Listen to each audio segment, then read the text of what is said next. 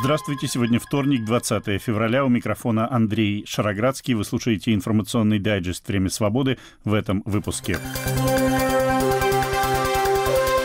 В день, когда Юлия Навальная заявила, что скоро назовет имена убийц ее мужа, Владимир Путин повысил в звании сразу несколько руководящих сотрудников СИН России. Представитель Главного управления разведки Украины подтвердил информацию об убийстве в Испании бывшего российского военного летчика Максима Кузьминова, который летом 2023 года бежал в Украину на военном вертолете и передал его в СУ политическая подоплека покупки крупнейшим банком Грузии ведущего банка Армении. Также сегодня. Война в Украине, режим в России, то, что происходит с, с политическими репрессиями. Мы думаем, что это где-то там, там десятилетия назад, а оказывается, это реальность, в которой мы сейчас живем. «Молчание Марии» на Берлинале показан снятый в Латвии фильм, действие которого происходит в Москве в годы Большого террора. Моего мужа было не сломить, и ровно поэтому Путин его и убил. Позорно, трусливо, так и не решившись взглянуть ему в глаза или просто назвать его имя. И также подло и трусливо они сейчас прячут его тело, не показывают его матери, не отдают. И жалко врут и выжидают, когда там исчезнут следы очередного путинского новичка. Мы знаем, из-за чего конкретно Путин убил Алексея три дня назад. Мы скоро вам об этом расскажем. Мы обязательно узнаем и то, кто именно и как именно исполнил это преступление. Мы назовем фамилии и покажем лица. Но главное, что мы можем сделать для Алексея и для себя – это продолжать бороться. Это фрагмент из упомянутого мной вчера обращения вдовы Алексея Навального Юлии Навальной, в котором она заявила, что продолжит дело мужа и назовет имена его убийц. В ответ Кремль в тот же день демонстративно объявил о присвоении генеральских званий двум заместителям директоров СИН, начальнику управления делами в СИН и начальнику управления кадров Федеральной службы исполнения наказаний. Вчера же появились сообщения, что до окончательного заключения по поводу причин смерти Алексея Навального, в частности, проведение некой химической экспертизы, требуется не меньше двух недель, и в течение этого срока тело Навального его родным выдано не будет. От матери Навального, прилетевшей в Салихард на следующий день после известия о его смерти, по-прежнему скрывают, где находится тело ее сына. Пресс-секретарь Навального Кира Ярмаш не могла найти слов, чтобы описать издевательство, которым сейчас подвергается Людмила Ивановна Навальная. Вот мне сложно вам это донести до вас масштаб этого, наверное. Это какая-то чудовищная насмешка и издевательство, возведенное в какой-то катастрофический масштаб. Когда ты в самом деле пытаешься зайти, просто зайти в больницу, в данном случае в морг, а тебя не пускают, э, тебя просто как ребенка обманывают, буквально закрывают одну дверь, закрывают другую дверь, и ты между ними мечешься. Но вот ровно это они и делают, именно потому, что они явно не хотят выдавать тело. Это была пресс-секретарь Алексея Навального Кира Ярмыш. Журналистам в этих условиях приходится по крупицам собирать информацию, касающуюся обстоятельств смерти Алексея Навального, при анализе камер видеонаблюдения был замечен автокортеж, предположительно перевозивший тело Навального из поселка Харп, где находится колония, в которой он сидел, в Салихард, административный центр Ямало-Ненецкого автономного округа. Мои коллеги из расследовательского проекта «Системы» выяснили, что накануне официальной даты смерти Навального, это 16 февраля, в здании управления ФСИН в Харпе, совсем рядом с колонией «Полярный волк», состоялась лекция для работников союзников СИН об опасности для России, которую якобы представляют собой иностранные агенты и инфлюенсеры. Вот что рассказывает об этом журналист «Радио Свобода» Марк Крутов. Эта встреча произошла 15 февраля. На нее собрались чиновники ФСИН. Дело в том, что прямо рядом с колонией К3, где сидел Навальный, расположено управление ФСИН по Ямало-Ненецкому автономному округу. И вот там прошло мероприятие на которое приехал лектор общества знания, возрожденного Владимиром Путиным, и прочел для чиновников СИН, и подключил по видеосвязи представителей колоний, в том числе и К3, прочел целую лекцию про опасность иноагентов, и так называемых инфлюенсеров. Э, показали даже слайды, мы просто увидели на фотографии экран, на котором показывают слайды, и там перечислены люди, которых общество знания и его лектор считает общественно опасными, вероятно. Это Юрий Дудь, Михаил Ходорковский, Олег Тиньков, Noise MC, рэпер Фейс, Данил Поперечный, э, группа «Порнофильмы», группа «Анакондас». И вот так вот людям рассказывали, значит, как надо этих иноагентов бояться. Э, вот такая, можно сказать, идеологическая накачка сотрудников СИН прошла буквально за день или за два дня до смерти Навального в колонии, буквально в десятках метрах от того места, где он в тот момент находился еще. И нам показалось интересным, что такие мероприятия проводятся вот прямо для сотрудников СИН, что им рассказывают, кто является, грубо говоря, врагами народа, показывают лица этих людей. Но фотографии Навального, по крайней мере, на тех слайдах, которые можно можно заметить на фотографиях, опубликованных в официальном аккаунте ФСИН, не было. Это был корреспондент «Радио Свобода» Марк Крутов. Удалось также установить имя начальника медсанчасти в колонии, где сидел Алексей Навальный. Этого человека, отвечающего за здоровье заключенных, зовут Алексей Лисюк, хотя на сайте ФСИН указано другое имя. О подробностях его биографии и о характеристиках, которые дали Лисюку знакомые с его работой люди, рассказывает мой коллега Сергей Добрынин. Родился он в городе Уссурийск, потом он переехал в Краснодарский край, окончил Кубанский медицинский университет и довольно долго жил в городе Кропоткин. Там он возглавлял, то есть был главврачом э, Центра эпидемиологии и гигиены в небольшом городке, э, тоже в Краснодарском крае. После этого он где-то в 2017 году переехал достаточно неожиданно с, из теплого Краснодарского края в Ямало-Ненецкий автономный округ, где работал в похожей организации, тоже в Центре эпидемиологии и гигиены в городе Салихард. Причем, если он у себя на юге работал главврачом, то в Салихарде он работал уже на должности начальника отдела по работе с запросами пациентов. После этого, где-то через год, он достаточно неожиданно ушел из грубо говоря, гражданской системы медицины, он ушел в систему ФСИН и начал работать э, в колониях. Сначала в колонии номер 18 в поселке Харп. И вот э, весной или летом прошлого года он перешел в ИК-3, тоже в поселке Харп. Это человек, который как минимум по должности отвечает за здоровье заключенных в исправительной колонии номер 3 в Харпе. Поэтому он лично отвечал за здоровье Алексея Навального. При этом, насколько плохо он понял свои обязанности, сказать сложно. Мы пообщались с одним бывшим врачом этой колонии, который знал Лисюка, и он говорит, что он не такой уж плохой специалист, и все организовал там лучше, чем было до него. В то же время по профессии он, видимо, врач-гигиенист, то есть он небольшой специалист в медицине, скорее медицинский организатор, и о том, какие там были условия медицинские для заключенных, остается только, только догадываться. Формально, в любом случае, ответственность это лично его, и делал ли он что-то плохое или что-то хорошее, по мере своих сил, мы пока что не знаем, но будем это изучать рассказывал корреспондент «Радио Свобода» Сергей Добрынин. И, как я уже упоминал вчера, больше всего задержанных полицией на акциях памяти Алексея Навального в пятницу и в минувшие выходные было в Петербурге. Среди них был православный священник, сын писателя и поэта Александра Галича Григорий Михнов-Войтенко, который прямо из спецприемника был госпитализирован с подозрением на инсульт. К счастью, состояние его улучшилось. Михнов-Войтенко сегодня был выписан из больницы больницы, но он нуждается в лечении, а что будет с административным делом против него пока непонятно. Вот что о задержаниях в Петербурге рассказывает депутат законодательного собрания города от партии «Яблоко» Борис Вишневский. Конечно, вообще не было никаких акций протеста. Были просто акции памяти. Люди хотели прийти, почтить память погибшего Алексея Навального, положить цветы. Никто не ходил с плакатами, не скандировал никаких лозунгов не устраивал шествие. Люди просто хотели отдать долг памяти усопшему, на что имеют полное право. Ну, результат около 200, если точно, то 199 рассмотренных судами административных дел, 177 человек отправлены под административный арест на срок от суток до 14 суток. Остальные получили лишь штраф или исправительные работы. Конечно, к закону это, на мой взгляд, не имеет просто никакого отношения, потому что люди не совершали никаких нарушений общественного порядка задерживали тех, кто положил цветы, не сразу отошел от памятника жертвам репрессий, или тех, даже кто отошел, задерживали иногда по дороге. И все это, повторяю, к закону отношения не имеет, потому что ничего незаконного люди не совершали. Там нигде не написано, что люди не имеют права пойти и положить цветы. И даже ужас после этого какое-то время постоять у этого мемориала касается истории Григория Михнова-Войтенко, она вообще еще более абсурдная, потому что его задержали прямо на выходе из дома, как известно, и он ни в чем не участвовал, не успел участвовать, и никого никуда не призывал, он всего лишь написал в своих сетях, что собирается отслужить панихиду.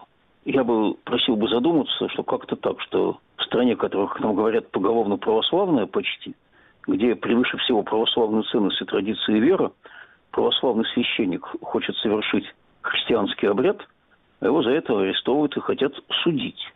Вот как-то это плохо, это вяжется с уважением к вере, к ценностям, к традициям и так далее.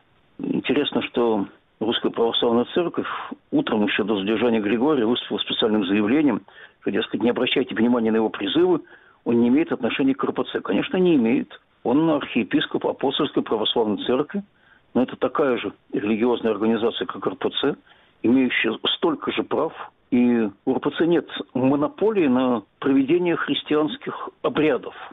Это право есть у любой христианской организации. Апостольская православная церковь официально зарегистрирована. Никто не подвергает это сомнению. Но почему-то наша метрополия решила, видимо, таким путем свою лояльность подтвердить. Хотя ну, для меня, человека неверующего, совершенно непонятно, а почему там, собственно, РПЦ не благословила никого из своих священников отслужить такую панихиду. Это ведь точно совершенно по-христиански. Даже если усопший был противником существующей власти и политического режима. Ну и что? Но тем не менее решили дистанцироваться. В отличие от отца Григория. Где-то часов до 9 вечера в пятницу, в день известия смерти Навального, люди спокойно клали цветы, никто их не задерживал. Потом где-то часов в 9 начали вдруг задерживать. И в субботу тоже задерживали, еще в большем количестве. Значит, очевидно, концепция поменялась. Повторяю, я не вижу никаких нарушений закона, которые бы совершили бы эти люди. Они не причинили никакого вреда никому. Они нарушили общественный порядок. Это никак не нарушает общественные интересы. Они не хулиганили, не вытаптывали газоны, никому не мешали. Но было решено почему-то это пресечь. На мой взгляд, это крайне неумное решение. Ну, дали бы людям спокойно положить цветы, и что бы случилось? Да ничего. Это был депутат Законодательного собрания Петербурга от партии «Яблоко» Борис Вишневский, а Борис Надеждин, политик, который продолжает попытки оспорить свое отстранение от президентских выборов, написал в своем телеграм-канале, что, по его мнению, цитата «трансформация боли от потери политика Алексея Навального в желание отомстить, причинить страдания в ответ не поможет». Конец цитаты.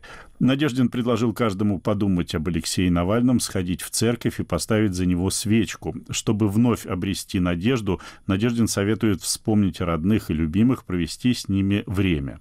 Важно вспомнить о деятельности, которая вас радует. Мне очень нравится читать хорошие книги, слушать музыку, сочинять и петь песни. Я каждый день стараюсь ходить на прогулки и по возможности плавать в бассейне. Когда был помоложе, бегал на лыжах и играл в футбол. Написал в своем телеграм-канале российский оппозиционный политик Борис Надеждин. Вы слушаете информационный дайджест «Время свободы». Сегодня вторник, 20 февраля. Тему выпуска представляю я, Андрей Шароградский.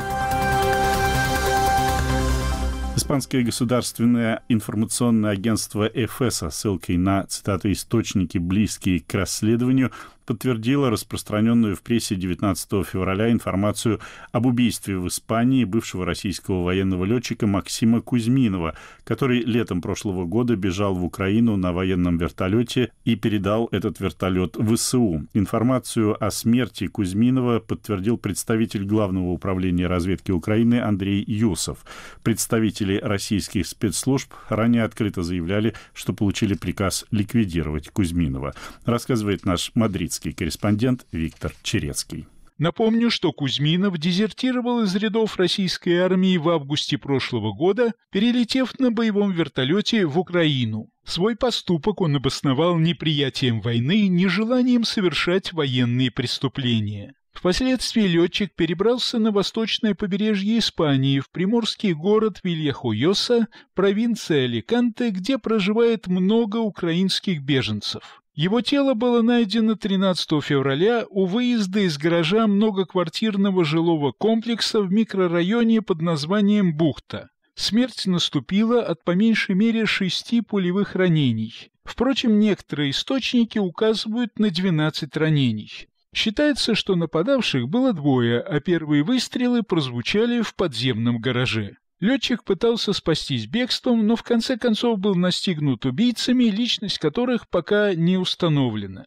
Они скрылись на автомобиле белого цвета, стоявшем в гараже, и при этом переехали тело своей жертвы. Убийство Кузьминова вызвало широкую огласку и резко отрицательную реакцию испанской общественности. Здесь полагают, что он был убит российскими спецслужбами. Пресса напоминает, что речь идет не о первой расправе над неугодными Кремлю лицами и что подобное тем более недопустимо, поскольку производится на территории чужих государств. Журналист Начо Карейра над всеми аналогичными случаями нависает тень российского президента. Известно дело Александра Литвиненко. Он умер в Великобритании от отравления полонием. Литвиненко критиковал Путина и его режим. Там же были отравлены бывший офицер Скрипаль, считающийся в Москве предателем, и его дочь. Был обнаружен мертвым в своем доме и общавшийся с Литвиненко предприниматель Березовский. Его смерть якобы наступила в результате самоубийства. Он тоже был вынужден эмигрировать, поскольку выступил против Путина, став одним из наиболее ярых его критиков. Между тем, из материалов следствия стало известно, что летчик Максим Кузьминов не проживал в жилом комплексе «Бухта». У одного из жильцов даже сложилось впечатление, что речь идет о рабочем, ремонтировавшем какую-то квартиру. Свидетелей убийства практически не было, поскольку дом в это время года пустует. Он используется в основном для летнего отдыха. Что касается автомобиля убийц, то он был сожжен в поселке Кампельо в 20 километрах от места расправы. Расследование ведет гражданская гвардия, испанская жандармерия. Учитывая жестокий характер убийства, основной версией причин расправы стало сведение счетов. Отмечается, что у жертвы были найдены документы на имя гражданина Украины 33 лет. Жандармы сразу же заподозрили, что эти документы могли не соответствовать личности убитого. Последнее, как отмечает испанская пресса, не удивляет, поскольку Кузьминова могли снабдить этими документами украинские власти, чтобы ему было легче скрываться. Похоже, что эта мера оказалась недостаточной. Факт смерти Кузьминова подтвердили 19 февраля спецслужбы Украины. Одновременно можно сделать вывод, что, оказавшись в Испании, россиянин не попросил ни защиты, ни политического убежища у местных властей. Виктор Черецкий для Радио Свобода, Мадрид. Кремль, между тем, продолжает захватывать заложников с американским гражданством, которых он, скорее всего, рассчитывает обменять на осужденных в Европе и США сотрудников российских спецслужб. Сегодня в Екатеринбурге была задержана Ксения Карелина, получившая американский паспорт в 2021 году. Спецслужбы действовали по схеме, похожей на схему ареста нашей коллеги из татаро-башкирской службы Алсу Курмашевой. Приехавшую в Россию навестить родителей Карелину вначале арестовали на 15 суток по администрации административному делу о мелком хулиганстве, но не отпустили после отбытия этого срока, а предъявили обвинение по статье о госизмене, якобы за финансирование ВСУ. В социальных сетях Карелиной можно найти посты в поддержку Украины, и, как выяснил правозащитный проект «Первый отдел», в день начала российской агрессии против Украины, то есть 24 февраля 2022 года, Карелина перевела со своего счета в американском банке 51 американский доллар и 80 центов фонду «Разом for Ukraine».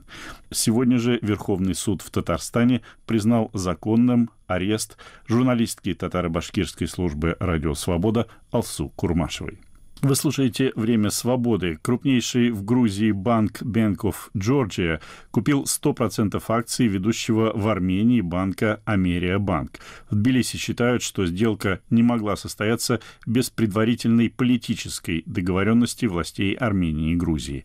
Об этом рассказывает наш тбилисский корреспондент Георгий Кабаладзе. Сообщая о покупке акций Эмерия Банк за 303 миллиона 600 тысяч долларов, исполнительный директор Bank of Georgia Арчил Гачичиладзе особо подчеркнул, что Эмерия Банк – ведущий финансовый институт Армении, цитата, Хочу поблагодарить армянских коллег за сотрудничество в интенсивном режиме. С нетерпением ждем работы с ними, отметил господин Гачичеладзе и тут же уточнил, что после утверждения сделки с соответствующими регуляторами Грузии и Армении, Эмерия Банк продолжит работу с нынешним менеджментом как дочерная компания Bank of Georgia, сохранив при этом свой бренд и корпоративную идентичность. Это была цитата.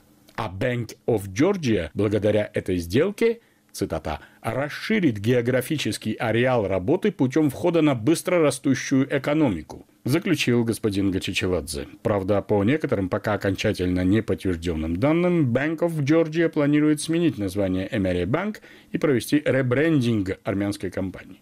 Бывший президент Национального центрального банка Грузии Роман Гоциридзе сказал в интервью «Радио Свобода», что у банковской сделки есть очень сильная политическая и даже, может быть, геополитическая составляющая, особенно если учесть, что крупнейшим акционером Эмери Банк является миллиардер Рубен Варданян, находящийся сейчас в бакинской тюрьме после событий вокруг Нагорного Карабаха.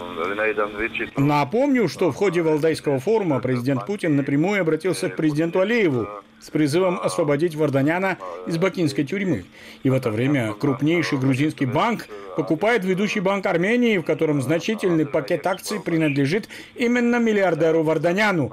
Абсолютно исключено, чтобы сделка такого уровня с явным политическим подтекстом была осуществлена без взаимодействия между Москвой, Ереваном и Тбилиси, считает Роман Гуцеридзе. Важно отметить, что за последние 20-25 лет грузинские банки, в том числе Bank of Georgia, благодаря значительным инвестициям западных, в первую очередь европейских финансовых структур, а также очень комфортного для банковской деятельности законодательства – принятого еще во времена радикальных реформ президента Саакашвили, стали региональными лидерами, привлекая значительный объем инвестиций и вкладов не только граждан Грузии, но и иностранцев, в том числе россиян. Достаточно сказать, что по последним данным граждане России держат на депозитах в грузинских банках, в том числе крупнейшего из них of Georgia, около полутора миллиарда долларов. При этом многие тбилисские блогеры считают некоторой иронией истории то, что в течение веков именно армяне учили грузин финансовому, в том числе банковскому делу, развивая эту отрасль экономики исторической Грузии,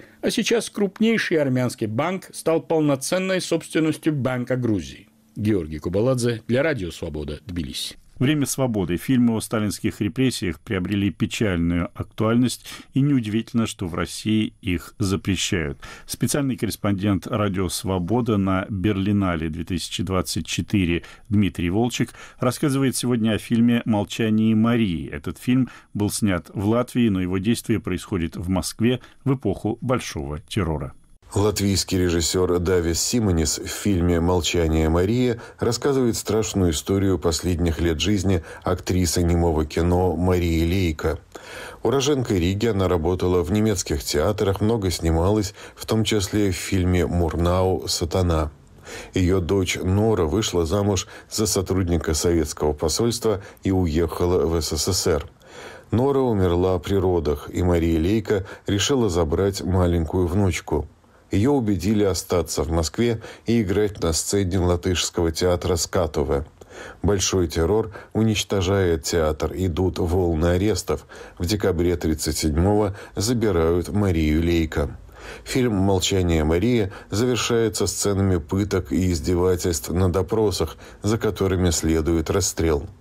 Случилось так, что во время сеанса пришло известие о смерти Алексея Навального, и я спросил Дависа Симониса, как происходящее в сегодняшней России отразилось на его работе над фильмом. Если делаешь историческое кино, это кажется, что ты как бы говоришь про что-то, что случилось э, где-то, там, не знаю, сколько лет назад, чтобы это не повторялось в наши дни. Но здесь все а, обернулось так, что мы видим, что война в Украине, режим в России, то, что происходит с, с политическими репрессиями и так далее, и так далее, это все ре, такая реальность, которая в фильме, ну как бы мы думаем, это как, что это где-то там, там десятилетия назад, а оказывается, это реальность, в которой мы сейчас живем. И это, это страшно, это важно для фильма, что фильм эту работу делает и говорит про это. Но для меня, как режиссера, это эмоционально очень тяжело, это очень депрессивно. И это тот поворот, который наша, э, история наших дней повернулась э, э, в течение ну, реализации этого фильма, делания этого фильма. Ваш предыдущий фильм был о стене между несколькими государствами, ну, в стене, от, от, как бы отделяющей, условно говоря, Запад от России и Белоруссии, да? Когда смотришь этот ваш фильм, из 24 года. Хочется, чтобы эта стена была каменной и неприступной. Я не знаю, согласитесь ли вы с такой радикальной трактовкой. Да и нет. Я думаю, обязательно. Если мы думаем про тот режим, который сейчас в России, эта стена должна быть такой же, которую никак не перелезти или не знаю, что с ней сделать. Но я все-таки думаю, что какая-то надежда может, может быть очень маленькая, но все-таки остается.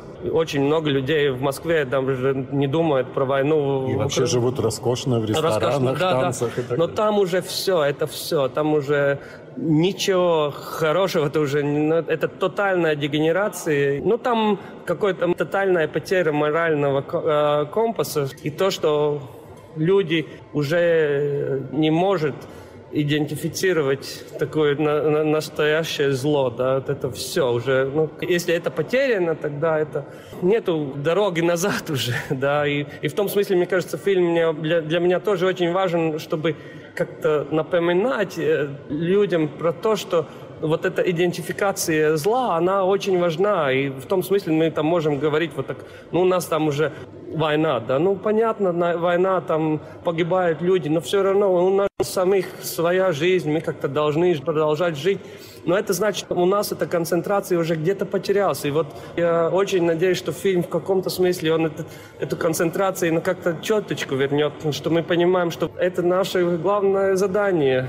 Вот эта идентификация зла и борьба с злом. И если мы вот так расслабимся, да, тогда все, с нами тоже ничего хорошего не произойдет латвийский режиссер Давис Симонис. Его фильм «Молчание Марии» о трагической судьбе актрисы Марии Лейко был показан на Берлинском кинофестивале. Дмитрий Волчек, Радио Свобода, Берлин. Это был информационный дайджест «Время свободы». Его тема представил я, Андрей Шароградский, продюсер выпуска Андрей Амочкин. Наш подкаст можно слушать на сайте «Радио Свобода». К вашим услугам популярные приложения подкастов и наша платформа на базе хостинга YouTube «Радио Свобода Лайв». Подписывайтесь на нее и на телеграм-канал «Время свободы». У меня на сегодня все. До свидания.